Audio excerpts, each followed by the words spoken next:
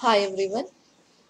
In the topic of bacterial photosynthesis, we are discussing about the light phase, dark phase. In the dark phase, we had gone through the two different pathways of carbon dioxide fixation that is a Calvin cycle and reductive TCA cycle.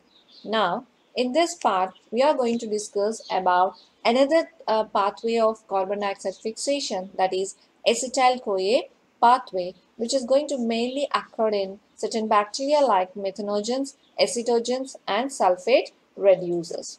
So here what is happening in the acetyl-CoA is this is mainly employed by methanogenic archaebacteria that is methanogens or sulfate reducing bacteria and acetogenic bacteria or acetogens. The acetyl-CoA pathway of carbon dioxide assimilation is not cyclic. Remember, this is not a cyclic like other carbon dioxide pathways. Instead, it involves the fixation of carbon dioxide via two linear pathways. That is, you can see the picture. So here you can see one molecule of carbon dioxide is reduced to methyl group of acetate. So here you can see methyl group of acetate and one more molecule of carbon dioxide is reduced to carbonyl group of uh, acetate and these two are going to combine and forming the final you are going to have the acetyl CoA. So here you are going to have the acetyl CoA. So one is going to involve in forming the what we call is acetate and other is going to reduce to carbonyl group and those two combine giving rise to the acetyl CoA which then is carboxylated resulting in the pyruvate molecule and the key enzyme of this whole acetyl CoA pathway is a carbon monoxide dehydrogenase or simply carbon CO dehydrogenase.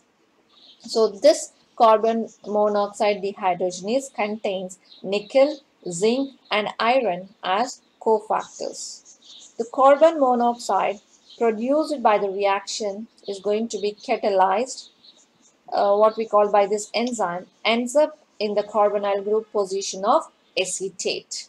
So here we can see it is going to be ends up with the acetate.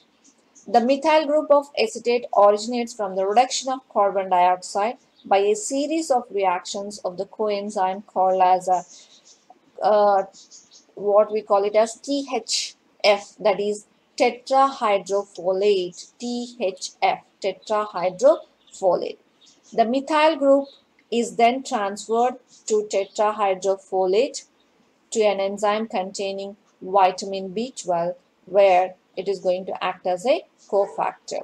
Now the methyl group CH3 group combines with carbon monoxide from here okay to form the final product that is acetyl CoA. So that's how here one molecule of carbon dioxide is involved in the reduction of a, uh, carbon dioxide to carbon monoxide dehydrogenase and then one molecule is involved in forming the methyl B12.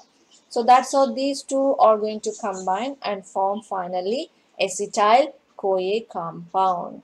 So you can see here it's not a cyclic pathway.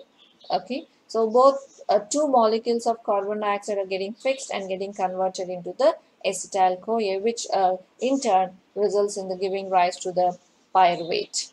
So this is all about the acetyl CoA pathway of uh, carbon dioxide fixation. Thank you.